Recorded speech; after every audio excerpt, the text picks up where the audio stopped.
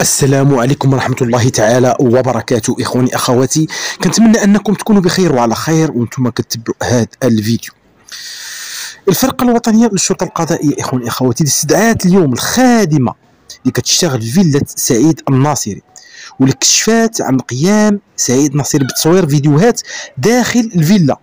والحضور اللي كان كيشمل فتيات وكذلك نساء وزوجات رجال سياسيين وبرلمانيين ورياديين والحضور الحفلات الماجلة الماجنه اللي كانت 100% يعني اللي كان كيحضروها بعض الوزراء السابقين وكذلك الحاليين والقضية كبيرة وكبيرة جدا واللي فيها مشاركة مسؤولين كبار في طمس الملف ديال المخدرات واللي كان كيشرط فيها بن إبراهيم بارون إسكوبار الصحراء الزوج السابق ديال لطيفه رأفت.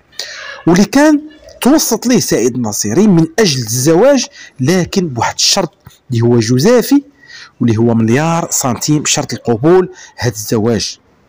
فعلا لطيفة رأفت اللي قبلات هذا الزواج هذه الأخيرة. اللي ما كانش عالمة على حتى شي حاجة بشي نشاط اللي كان كيقوم به المالي إسكوبار إلا بعد سماع بعض المكالمات والتسجيلات الهاتفية في الهاتف ديال هاد البارون المخدرات.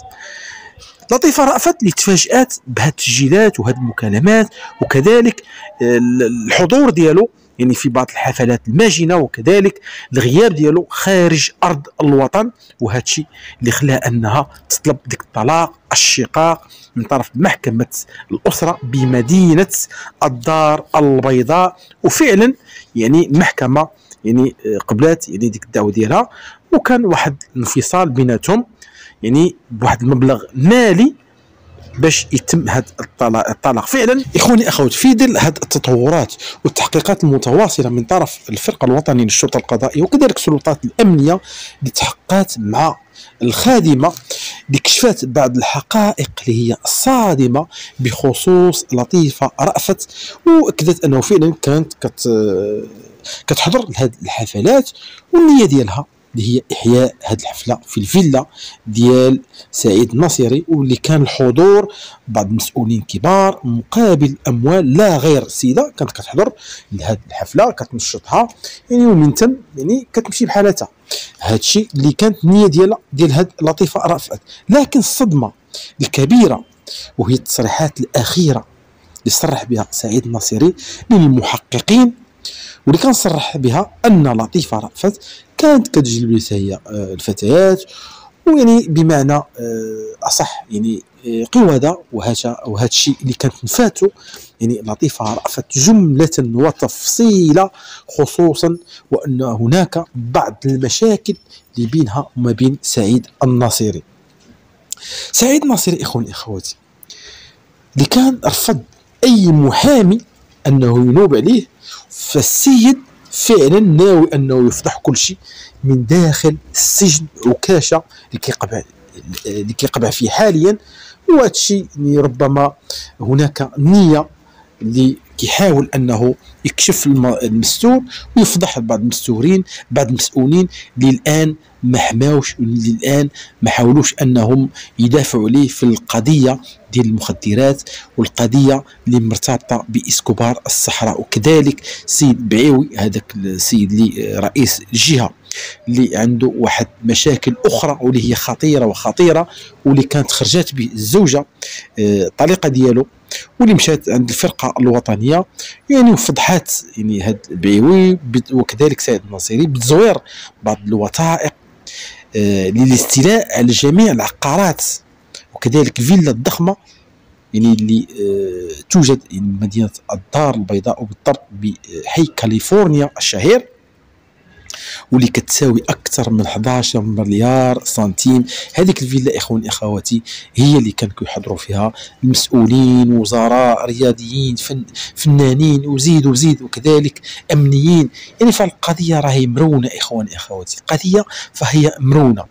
فهذا الشيء كامل كانوا كيحاولوا أنهم يستوليوا على العديد من آه، الشقق يعني كذلك مدينة السعيدية. وفعلا هذا الشيء اللي كان صرح به إسكوبار الصحراء المالي بن إبراهيم.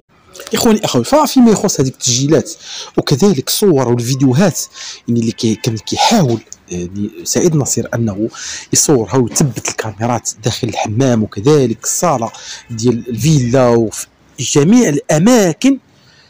وهذا الشيء كامل باش تكون أداة للدفاع عن المصالح ديالو خصوصا وأنه يعني كان كيتاجر في هذه القضية ديال المخدرات كذلك. آه، كان كيحاول أنه يطمس الملف ديال الاستيلاء على الاملاك ديال إسكوبار الصحراء.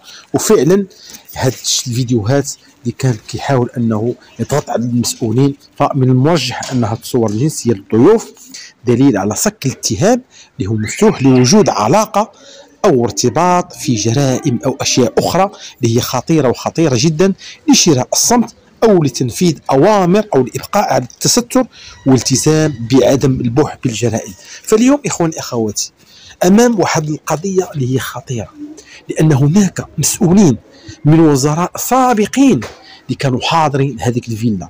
أكيد هذوك 25 شخص اللي تم إلقاء القبض عليهم من أمنيين من رجال سياسيين من فنانين من من من رياضيين. كلهم كل واحد غيجبد يعني متهم أو مشارك في القضية اللي هي معروفة بقضيه سعيد النصيري والبعيوي اللي صراحة هذيك الطريقة ديالو اللي كان لها الفضل هي اللي كانت أول وحدة اللي فجرات القضية ديال بعيوي اللي كانوا كينشطوا في المخدرات واللي كانوا كينشطوا في تزوير الوثائق باش يعني يستوليو على جميع يعني الشقق المتواجدة سواء ديال بن إبراهيم المتواجده بالسعيدية وكذلك الفيلا اللي كانت كتساوي 11 مليار سنتيم. فهنا كنشوفوا إخواني أخواتي للأسف الطمع فين كيوصل الواحد وكما كنقولوا إن الله يمهل ولا يهمل. فاليوم جا الوقت إخواني أخواتي باش يتحاسب كل شيء يتحاسبوا جميع المسؤولين.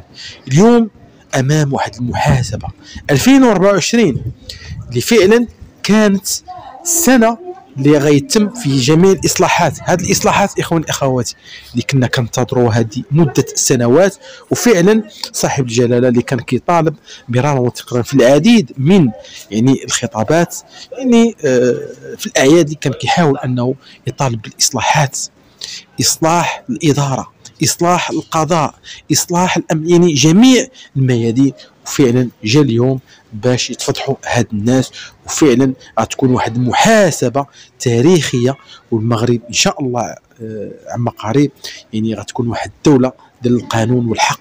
وهذا الشيء اللي كنا كنتمنوا من الله عز وجل. فما بغيناش يعني غير الفقير هو اللي يتحاكم يعني في شي قضية. وفعلا الناس اللي كيكونوا فقراء هما اللي كيكونوا مظلومين وكيدخلوا للسجن.